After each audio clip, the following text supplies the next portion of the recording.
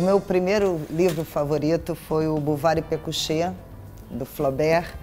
E a história com esse livro é curiosa. Eu fui fazer o Marvada Carne, que é um filme com o pessoal da Tatu Filmes em São Paulo. E tinha o Walter Rogério, que ele era assistente de direção do Marvada Carne. E ele veio assim, é, um dia e falou: Vocês não têm ideia, vão reeditar o Bouvard e Pécuchet que eu não tinha a menor ideia do que era. Eu fiquei assim, o que é isso?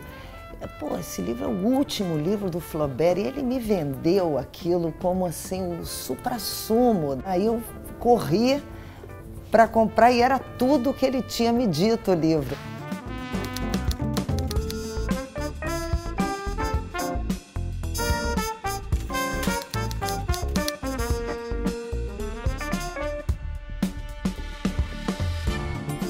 Que é a história de dois, é, dois caras copistas que fazem cópias, né, que se encontram ali, acho que no Sena, ficam amigos e um deles ganha uma herança. E primeiro eles desejam se dedicar à agricultura.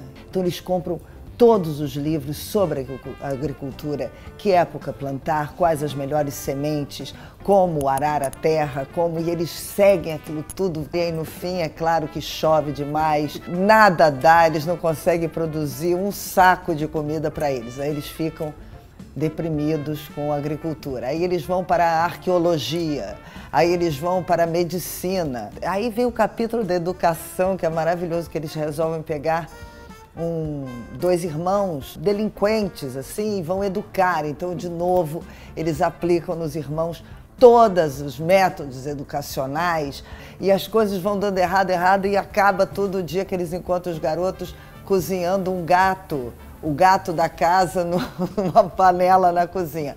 Aí eles ficam horrorizados e partem para outra. Então, é um livro maravilhoso sobre a pretensão da ciência de dar conta né, do homem e da, da natureza.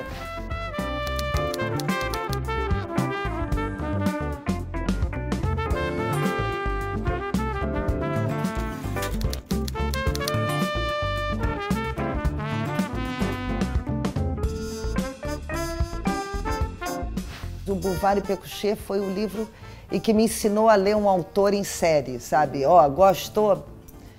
Mano, enfia aí, enfileira uns três, quatro, que você vai ver como é bom. Depois eu li o Madame Bovary, que é uma pintura de livro, parece uma sinfonia aquele livro, assim, os capítulos. É um livro perfeito. E depois eu li Salambô. O Flaubert é sempre maravilhoso. A maneira como o Flaubert vê a falha humana, o, o engano da humanidade, das grandes crenças. Eu acho ele tão atual, assim, eu acho que ele fala tão diretamente ao mundo que a gente vive.